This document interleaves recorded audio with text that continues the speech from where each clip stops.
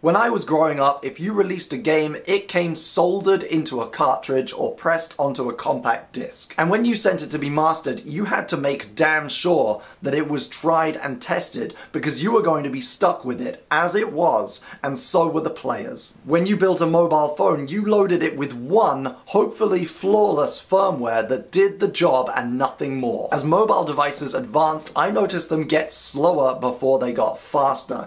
And as video game consoles spread their roots out into the internet, I noticed game developers getting lazy. Across technology and media, it has become the norm to sell products that are not finished, to sell products that are designed only to sell you more products, or to sell you products within products. In the mainstream, you no longer buy a game designed to be enjoyed and cherished, you buy a game that has just come out and already needs an update. And if you'd like the full experience, you need to buy the downloadable content. If you own a smartphone like an Android or an iPhone, iPhone, you've probably noticed it gets slower over time. Chances are the operating system that it came with worked perfectly, but all those updates that it told you to get have pushed it, little by little, towards obsolescence. I feel we're at a moment in history akin to the 50s when big tobacco seemed to be the only big voice being heard on the topic of smoking, and it was saying, hey, don't worry about it, it's fine. But for us, the young connected, it's now the technology and gaming industry saying, hey, don't worry about it, grab the new update, check out this DLC, wait in line for a new smartphone, with not enough influential voices on the other side of that fence. Big tech and gaming right now is all about anti-competition tactics and targeting young people's wallets. By its very nature, the subscription-based MMORPG model leads to the dominance of a few titles and makes it really, really hard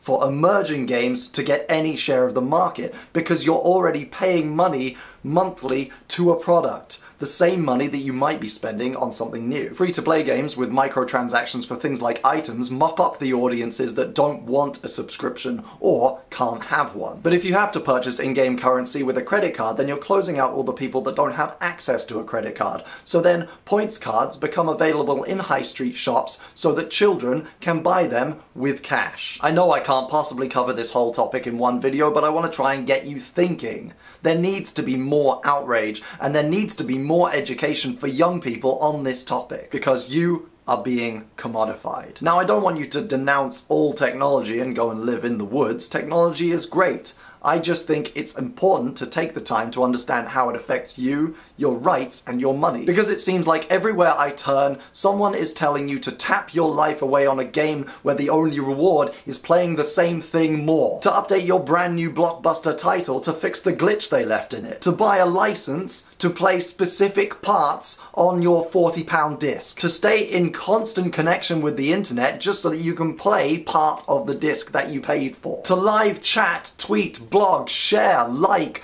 up and down your trophies to win coins, to buy hats for your avatar to wear when you share pictures of him in-game, to give companies who used to innovate more money just because they started trading publicly, and give companies who used to make video games control over how you play yours because you can't be bothered to walk to a shop or read terms and conditions, to buy unfinished technology with an expiration date so it can sit in your living room or on your desk or in your pocket sending your information to advertisers while it waits for a chance to sell you more stuff.